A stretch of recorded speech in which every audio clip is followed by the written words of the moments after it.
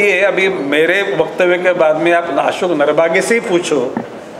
नई मुंबई के कई घटक लोगों ने अशोक नरबागे और सुरेखा नरबागे और कार्यकर्ताओं को गलत ढंग से उनको एक्सप्लेन किया और वो भारतीय जनता पक्ष छोड़ने के लिए उनको एक तरीके से मजबूर किया गया।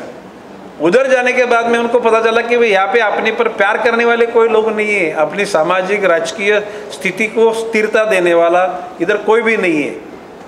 जब उन्होंने सोचा और बाद में उन्हें मेरी उनके लफ्ज़ों में दादा की याद आ गई। उनको मालूम है दादा ने कभी पाँच पैसे का कभी ब्लैकमेलिंग करो कि, किसको कभी बताया नहीं।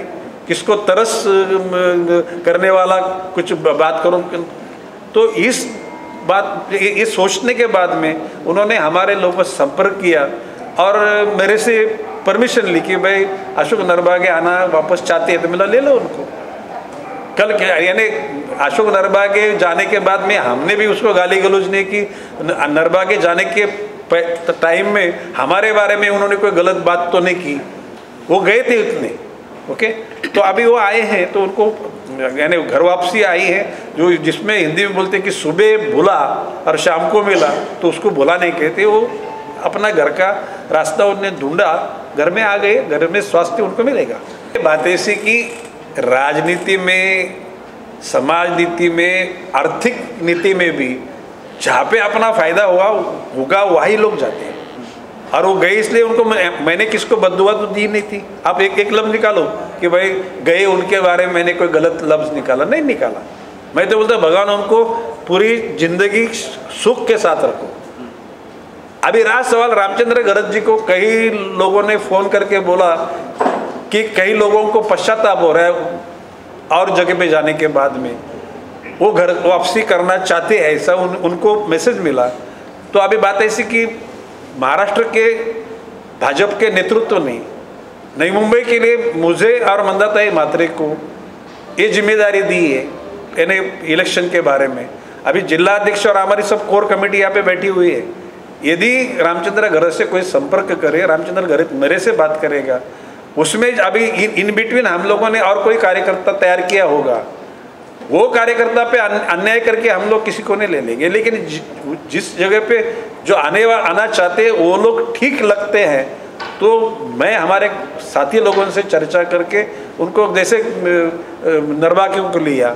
ऐसे हमने सबसे चर्चा करके निर्णय लिया उनके बारे में भी निर्णय लिया जाएगा। देखो बात ऐसी मैं विनम्रता के साथ कह रहा हूँ कि मेरे जीवन की जो समाज धारा, राजनीति की धारा शुरू हो गई तो 97 में भी मुझे छोड़ के कई लोग गए थे। आप लोग उसके गवाह हैं। 2000 में कई लोग गए 2005 में गए 2010 में गए 15 में गए 20 में गए 21 में गए। कोई फ़र्क पड़ा नहीं और अभी भी आगे फ़र्क पड़ने वाला नहीं है। तो हम लोग, हमारा डैमेज डैमेज हमको हुआ ही नहीं, ऐसा मैं बोलता हूँ।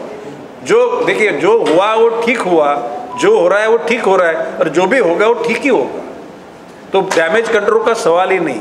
We are very much strength having strength to get result हमें जो रिज़ल्ट चाहिए उसके लिए हमारी क्षमता बराबर है।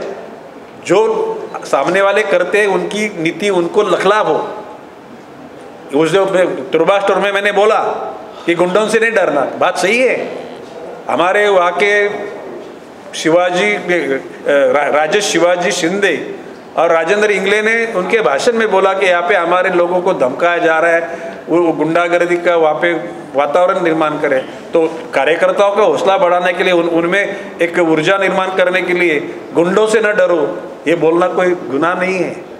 और दूसरी बात ऐसी कि ऐसे गुंडा लोग छोड़ो, जो इंटरनेशनल घूमते हैं, वो गुंडा लोग भी गणेश नाइक को मैंने जानते हैं कि ये लोग धर्म, जात, पंथ वर्ण को लेके कभी राजनीति नहीं करते।